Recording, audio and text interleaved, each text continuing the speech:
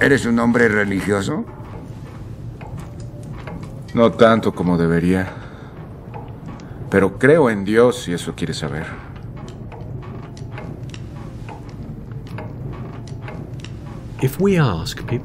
Si le preguntamos a una persona religiosa acerca de su fe, a menudo terminamos en una charla interesante y profunda. Si preguntamos a una persona religiosa sobre sus hábitos de oración, no es raro que recibamos una respuesta como la que vimos en la película. Algo así como no tan a menudo como quisiera, no tanto como me gustaría, no tanto como debería. Y es como si existe claramente un deseo, una voluntad de rezar, pero es como si a medida que surge ese deseo y esa voluntad, es como si apareciera una reticencia o una vacilación que la reprime y a veces hasta la destruye. Y al hablar con la gente veo que esa sensación de que el deseo de rezar está reprimido no es algo puntual, sino que puede durar por meses o incluso, en algunos casos, años. Y si de alguna forma te identificas con estas declaraciones, en primer lugar, no te preocupes, no te angusties. Te aseguro que no estás solo. De hecho, incluso cuando les pregunto a miembros del sacerdocio sobre sus hábitos de oración, y se podría decir que ese es su trabajo, a menudo obtengo una respuesta semejante. No tan a menudo como quisiera, no tanto como me gustaría, no tanto como debería. Obviamente, no me refiero a las oraciones rutineras, las oraciones semanales, las ceremonias o rituales. No estoy hablando de las oraciones memorizadas y repetidas, sino que quiero hablar del tipo de oración que Cristo menciona en los Evangelios, un acercamiento personal, la búsqueda de la comunión con Dios, la búsqueda de una conexión, la búsqueda de una mejor relación con Dios. Es la oración que viene del corazón, una oración íntima y privada, como dijo Cristo en los Evangelios, cuando ores, entra en tu cámara y cerrad tu puerta. Ora a tu Padre que está en secreto. Y esa expresión, entra en tu cámara, también se puede traducir como entra en tu closet, que en el griego es la palabra tamion, que podría traducirse como sala privada cámara secreta. Recuerda esa frase, porque más adelante vamos a volver a ella. Un poco antes de los tiempos de Cristo, Creo que esa palabra también podía ser traducida como bóveda o refugio. Y entonces la idea es entrar a tu sala privada, donde nadie puede verte, donde no puedes ser visto desde fuera. No lo harías para lucirte, porque nadie puede verte. Es una oración muy privada e íntima. Lo que quiero hacer en esta serie de videos es examinar esa reticencia, esa vacilación, que en algunas personas puede manifestarse como una timidez y algunas personas lo describen como una vergüenza, se sienten avergonzadas. Y lo que vamos a hacer es emplear pasajes de las escrituras que a menudo son desconsideradas para superar esa reticencia, para superar esa vacilación, lo que nos ayudará a retomar nuestras oraciones, a orar a pesar de la reticencia, a orar a pesar de la vacilación. Lo que quiero hacer es es cambiar nuestros hábitos de oración para que dejen de ser simplemente una parte secundaria de la fe y devolverle el protagonismo a la oración dentro de la fe, donde la fe y la oración caminan en paralelo, lado a lado, o incluso donde la fe y la oración puedan estar entrelazadas, trabajando juntas, donde la oración se convierte en uno de los pilares de la fe. Porque a mi entender, una de las partes de la misión de Cristo fue que cuando reconstruyó la alianza, le devolvió a la humanidad la capacidad de tener un acceso directo a Dios. Antes que el velo que separaba los dos recintos principales del Santo Sactorum se rasgara en dos, solamente el sacerdocio levítico podía acceder al Santo Sactorum, al tabernáculo. De hecho, solamente el sumo sacerdote podía entrar, y solo una vez al año.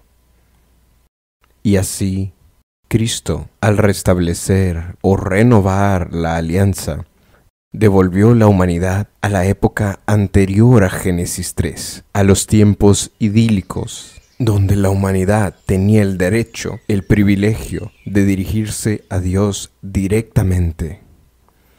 Al hacerlo, Cristo nos convirtió a todos en sacerdotes.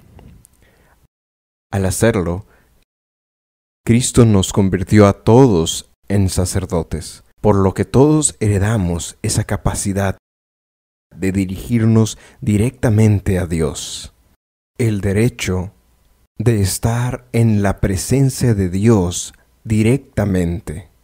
En esta serie de videos quiero elevar ese derecho y ese privilegio que nos fue otorgado a la categoría de no solo un derecho, pero una responsabilidad que se convierta en algo que realmente deseamos hacer.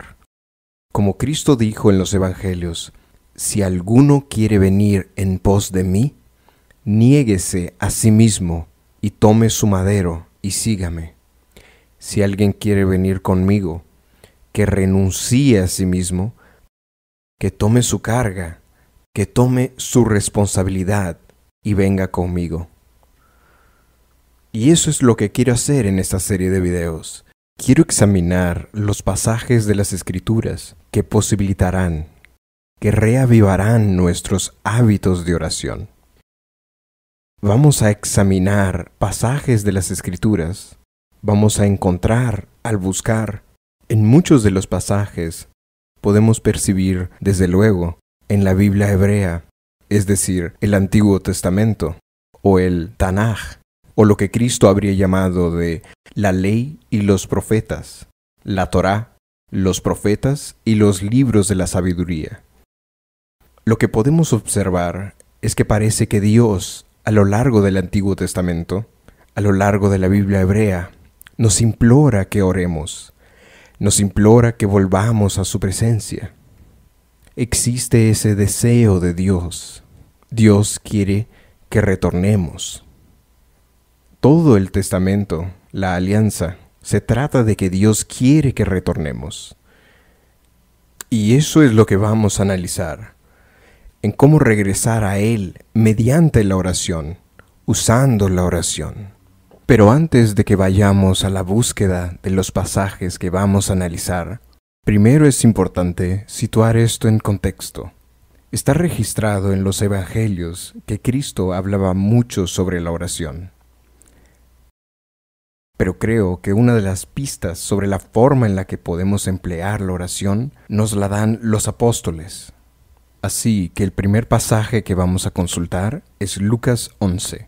Aunque creo que la mayoría de la gente va a pensar, espera un momento, Lucas 11, ese es el Padre Nuestro. De hecho, el inicio de Lucas 11 es uno de los lugares donde encontramos el Padre Nuestro. Pero dijimos que no íbamos a hablar sobre las oraciones rutineras de memoria, de los pasajes semanales de las escrituras de oración. Y se estima que dos mil millones de personas en el mundo han memorizado esa oración.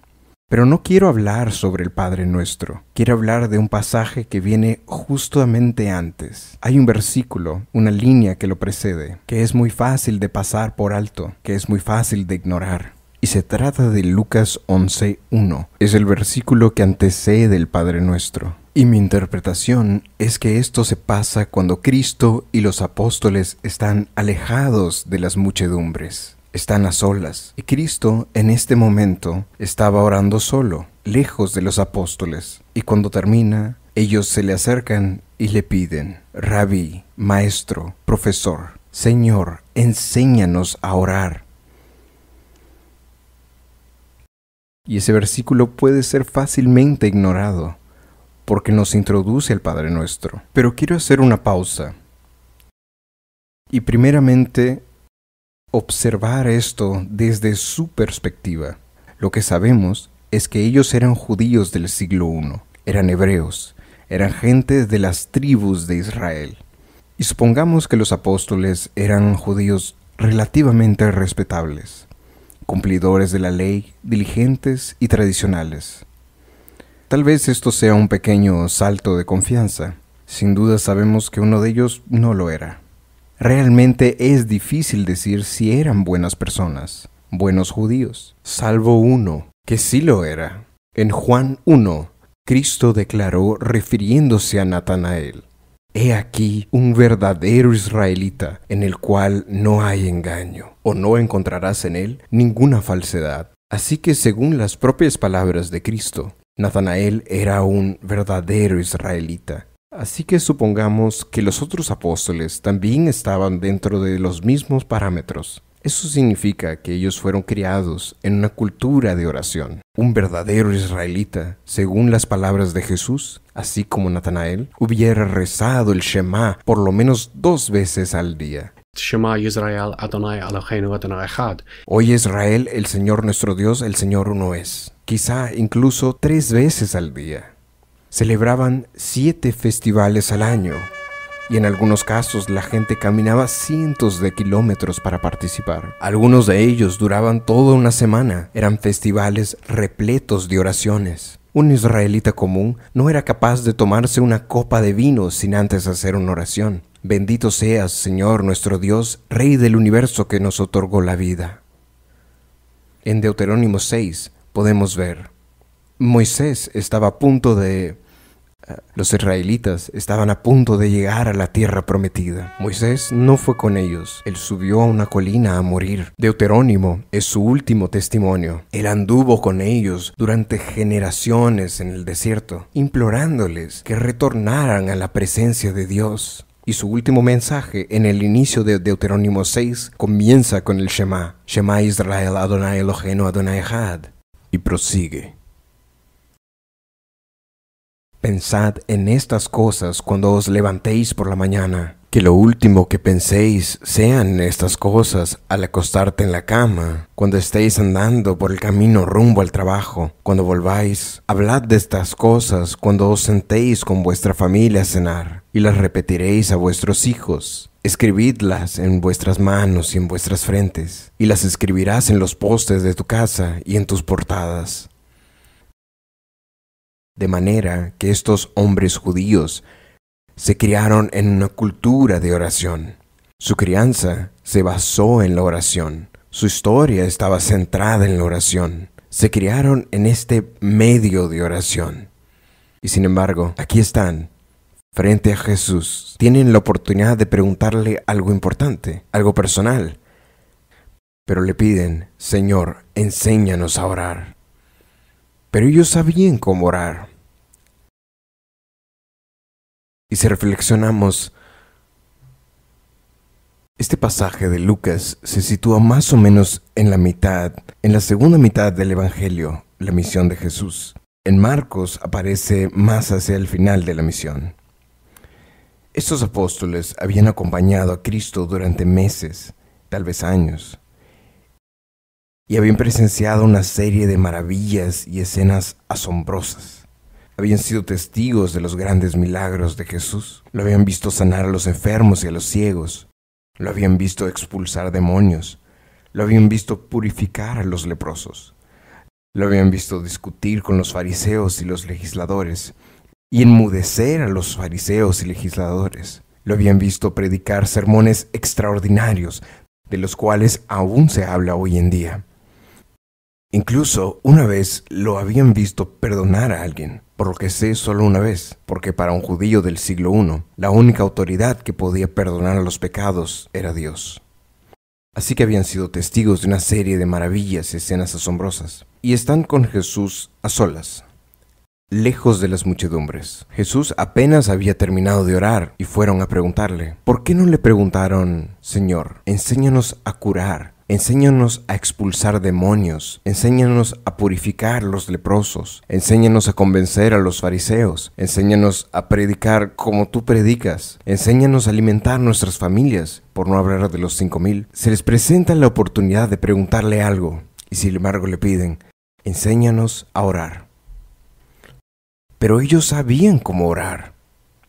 Les planteo que tal vez ellos habían notado algo en la forma en que Jesús oraba y tal vez habían contemplado, bien, estas grandes obras y maravillas, y sería increíble si pudiéramos hacerlas. Nos gustaría poder hacerlas. Pero es posible que se hayan dado cuenta de que los hábitos de oración de Jesús eran de alguna manera fundamentales para su misión, fundamentales para realizar sus grandes obras, que tal vez fueron sus hábitos de oración los que prefirieron o desencadenaron estas grandes obras y maravillas. Y tal vez habían contemplado que si querían hacer estas curas, purificaciones, limpiezas y expulsar demonios, lo primero que tenían que hacer era rectificar sus propios hábitos de oración. Y así cuando tuvieran la oportunidad de preguntarle algo a Jesús, le preguntaron por la cosa que ellos sabían que era fundamental para lograr todos estos grandes hechos y maravillas. Señor, enséñanos a orar. Y es justamente en eso en lo que vamos a enfocar en esta serie de videos. Regresar a esa fuerza de la oración. Y al igual que Jesús, vamos a recurrir mucho a las escrituras. A lo largo de las escrituras, Dios nos promete muchas cosas. De hecho, la palabra testamento es prácticamente un sinónimo de la palabra pacto, la alianza. Si nos fijamos bien en la Biblia hebrea, en el Antiguo Testamento, de cierto punto de vista, estamos ante un documento de carácter jurídico. Está lleno de promesas, convenios y alianzas. Así que esas promesas, sabemos de las grandes promesas, las promesas a Abraham, las promesas a Moisés, a Noé, las promesas a David y Salomón. Y aunque son formidables en la narrativa, en la historia, no parecen ser pertinentes en nuestra vida cotidiana de los días actuales. Lo que vamos a examinar son lo que voy a llamar de las pequeñas promesas, pero no son pequeñas, en absoluto. Son relevantes hoy, para nosotros, en nuestra vida cotidiana y vamos a fijarnos en aquellas que son realmente pertinentes para nosotros hoy. Y para rezar intensamente, debemos hacer que Dios haga valer su palabra. Y esa es una de las principales propuestas de esta serie de videos, la idea de hacer que Dios cumpla su palabra, que cumpla las promesas que hizo según las escrituras. ¿Y por qué no hacerlo? Un buen ejemplo sería, me imagino que muchos de ustedes sean tutores o tengan la custodia de alguien, o tal vez tengan niños, y le puedes decir a esa persona, si ordenas tu habitación y sacas una buena nota en el examen de música o de danza, te voy a invitar a un helado. Decimos eso y al cabo de unas semanas vamos a la playa. El niño o la persona que cuidamos se acerca y dice, Mamá, papá, ¿puedo tomar un helado? Y tú contestas, no, pues me he tomado el día libre, hemos venido desde tan lejos, cientos de kilómetros, trajimos comida, saqué el bote inflable, vamos a nadar en un rato, ¿y encima quieres un helado? Y el niño dice, espera un momento, dijiste que si sacaba una buena nota en el examen, me invitarías un helado. Y tú dices, tienes toda la razón. Perdón, sí, sí lo dije. Venga, Vamos a comprarte un heladote. Tienes toda la razón, perdón. Eso es bíblico. Cristo dijo en los Evangelios, ¿qué hombre hay de vosotros a quien si su hijo pide pan, le dará una piedra? Y si le pide una serpiente, no. Y si le pide un pez, le dará una serpiente. Y luego dice, ¿cuánto más vuestro Padre que está en los cielos dará buenas cosas a los que le piden? Así que la idea de hacer que Dios cumpla su palabra y de buscar esa promesa de Dios, lo que quiere decir es que todo lo que tenemos que hacer es recorrer a las escrituras y buscar y encontrar esas promesas y averiguar cómo o si pueden ser aplicables a nuestra vida de hoy en día, haciendo valer las promesas de Dios. Me gustaría empezar con Jeremías 29:12. En Jeremías 29:12, Dios dice a su pueblo, a través del profeta Jeremías, entonces me invocaréis y andaréis en mis caminos y oréis a mí y yo os oiré.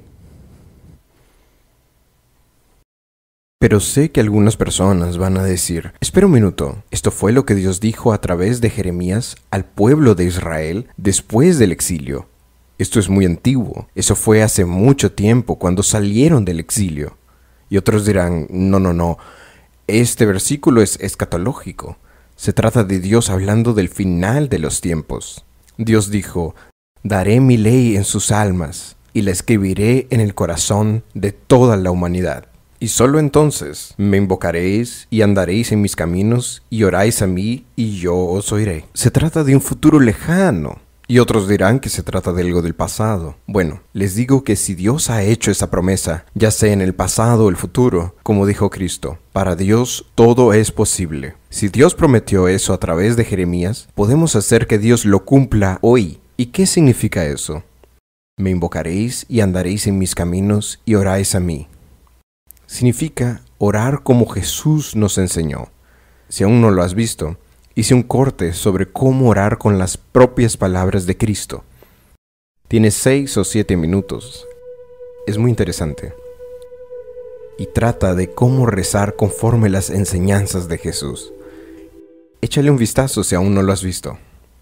Volviendo a Jeremías, me invocaréis y andaréis en mis caminos y oréis a mí. Como dijo Jesús, puedes consultarlo y yo os oiré.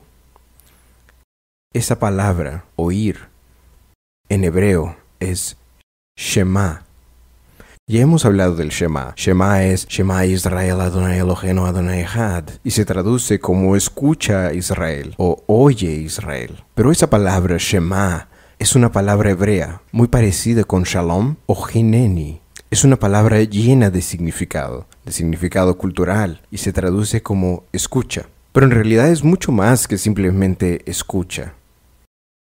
Mi interpretación del Shema como una palabra es que se refiere a un escuchar receptivo. Es un escuchar y reaccionar. Es actuar sobre lo que estás escuchando, responder, tomar acción respecto a lo que se escucha. Creo que en parte es por eso que en los evangelios consta que Jesús dijo, quien tiene oídos para oír, oiga. Es algo así como escucha y reacciona. Y la palabra Shema significa escuchar y reaccionar, actuar. Así que tenemos un pasaje que dice, cuando me invocaréis y andaréis en mis caminos y oráis a mí, yo os oiré y os responderé es como si la palabra escuchar contuviera un lo haré, oiré y os responderé. Y lo que este versículo nos dice es que cuando oramos es como si estuviéramos diciendo, Señor, habéis prometido mediante Jeremías que si te invoco y ando en tus caminos y orai a ti, tú me oirás. Señor, estoy orando a ti como Jesús me instruyó. Estoy en mi sala privada. He ambientado el lugar y voy a rezarte. Señor, escúchame. Solo le pido que cumpla su palabra. Veamos otro versículo que corrobora este punto. Isaías. En Isaías 58.9 tenemos a Isaías hablando de Dios. Entonces invocarás y oirás al Señor. Clamarás y dirá él, heme aquí. Ahora fijémonos en esta frase, heme aquí. El término en hebreo es hineni y es traducido como heme aquí, algo como presente. Sin embargo, al igual que Shema y Shalom, representan mucho más que simplemente heme aquí. Esa fue la palabra que dijo Moisés al oír la voz del Señor cuando subió la montaña sagrada. El Señor dijo, Moisés, Moisés, y Moisés respondió, Gineni, Gineni, Señor, heme aquí. Es una palabra una expresión que indica absoluta disposición. Es la disposición de entregarse, es una disposición total. Y entonces la palabra Hineni, de hecho, si escuchas el último álbum de Leonard Cohen, You Want It Darker, Hineni aparece en esa canción, You Want It Darker. Leonard Cohen dice, Hineni, Hineni, estoy listo, mi señor. Hineni, Hineni. Existe una cierta prontitud en Hineni. Imagínate un general, por ejemplo, una tienda de campaña en la línea de frente, en el centro de operaciones. Él entra a la tienda y ahí está todo su personal y su comandante. Y al entrar en la tienda, él ve su comandante allí de pie, luciendo elegantemente, listo para la acción. El general dice, Comandante. Y el comandante inmediatamente responde, Señor. Ese señor no es, hola, presente, ¿qué quieres? En eso está implícita una disposición, una disponibilidad. La palabra hineni es... eh, Dejemos de lado ese ejemplo militar. Pensemos en atletas. Es la ceremonia de clausura de los Juegos Olímpicos, el último evento, la final de los 100 metros. El mundo entero le está mirando. Es la final. Los atletas ya están en la pista y saben exactamente lo que tienen que hacer. El juez de salida entra, sube su escalera y dice, atletas, a sus marcas. Y ellos se dirigen a su punto en la pista, donde están sus bloques, se agachan con las manos y los pies en el suelo, y entonces el juez de salida dice, ¿listos? Y en ese momento, los atletas que han entrenado toda su vida para esto, sus mentes y sus cuerpos están preparados para ese momento, y en ese instante, listos, se levantan. Eso es estar preparado, porque lo que viene a seguir es el la pistola de arranque y salen. Y esa palabra hineni se refiere a eso. Es prontitud, es esa disposición, es estar listo para entrar en acción.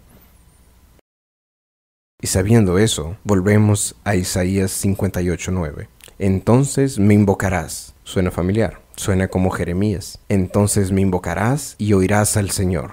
Vuelve a sonar como Jeremías. Clamarás y dirá él, heme aquí, Hineni.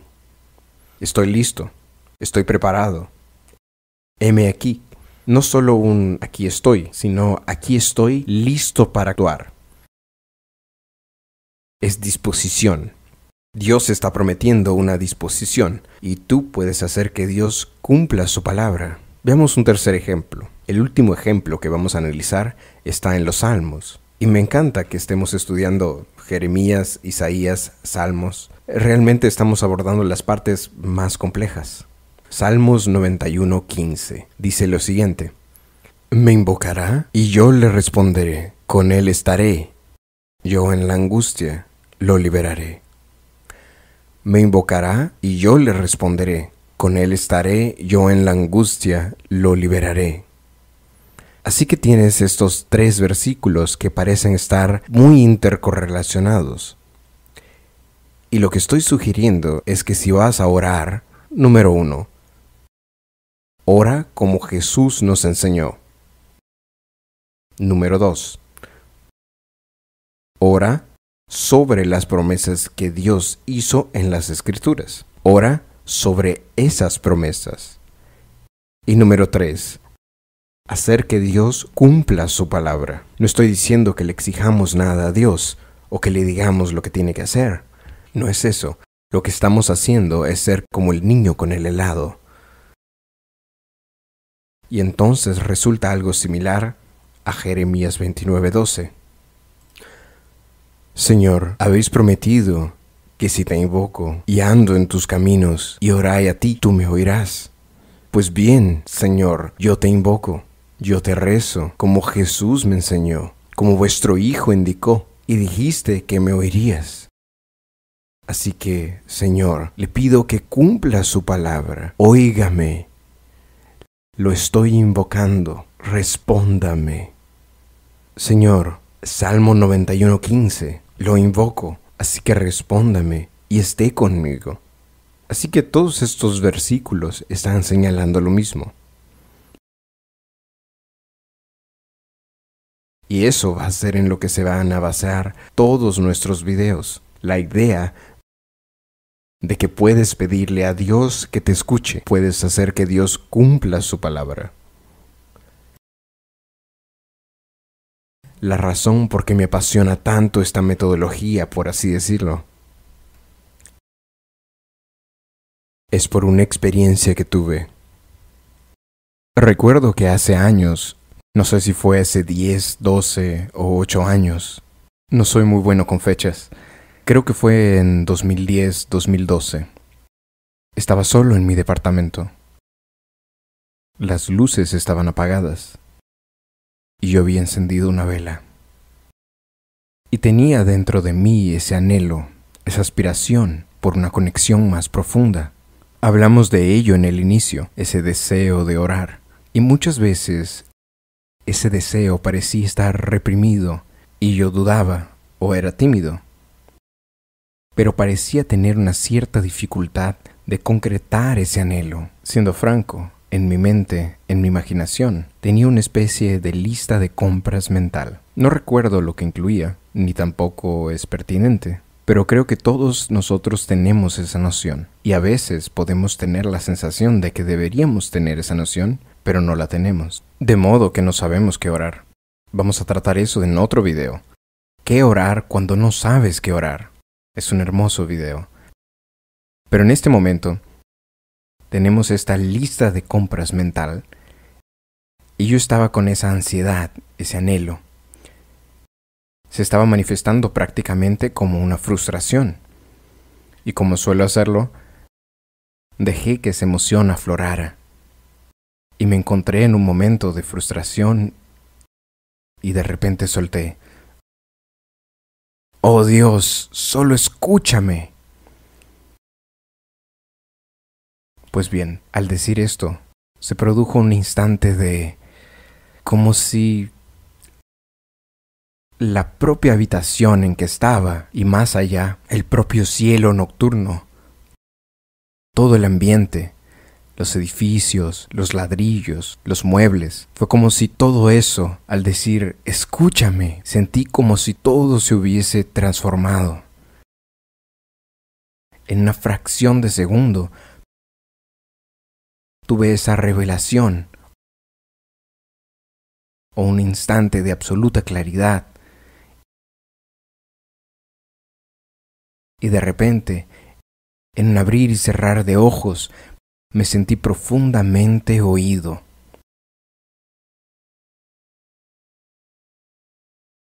Y fue algo impactante. Fue una conmoción tan grande que me dejó mudo. Pero también soy consciente de que si pienso sobre esa lista mental que tenía, y había una sensación de inquietud sobre eso,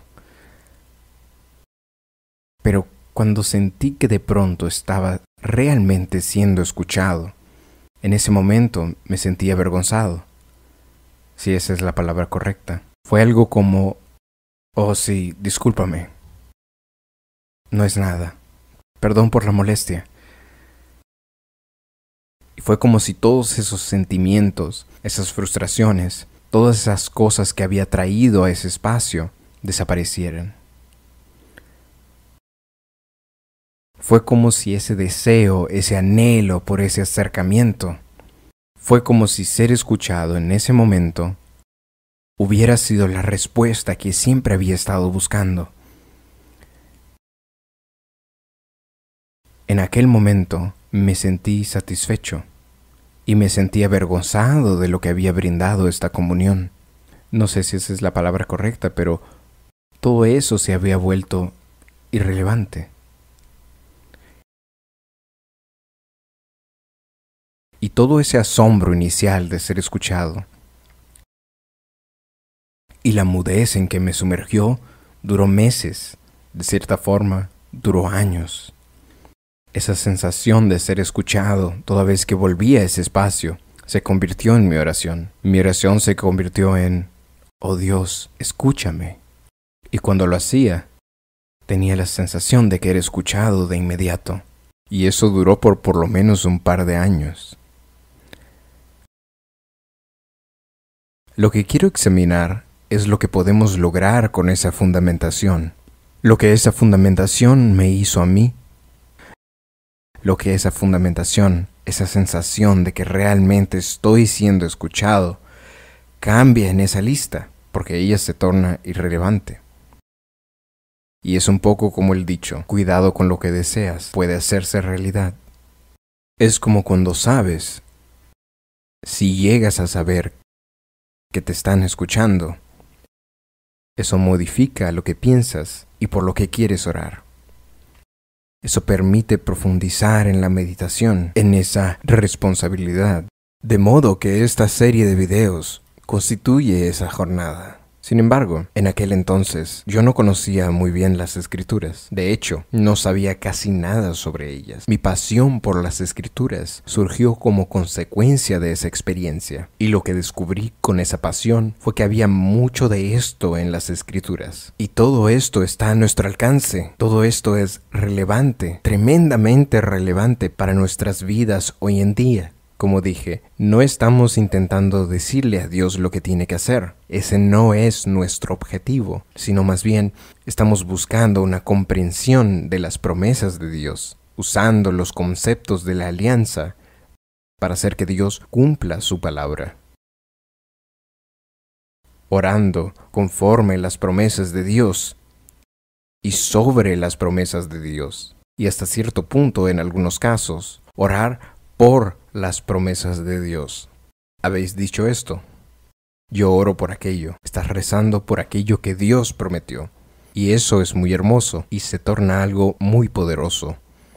Así que el siguiente video que voy a hacer trata de... En este video hemos hablado de uno de los preceptos de las escrituras, donde Dios ha prometido escucharnos y respondernos. Vamos a tomar esa idea y vamos a desarrollarla mucho más. Así que vamos a tomar a esa base y vamos a elaborarla. Y luego cada video va a edificar sobre estos pilares. Y este pilar, Jeremías 29:12, es fundamental. En el siguiente video vamos a tratar de dos preceptos distintos. Uno son las escrituras y los versículos que hablan sobre autoridad tu autoridad, la autoridad que nos es dada y cómo podemos aprovechar eso tomar posesión e incorporarlo a nuestros hábitos de oración y revestirlos con eso, el escuchar y responder. Y el segundo precepto del que vamos a hablar es la tenacidad. El siguiente video, que creo que en su mayor parte es centrado en Cristo, gran parte del video trata de las propias palabras de Cristo.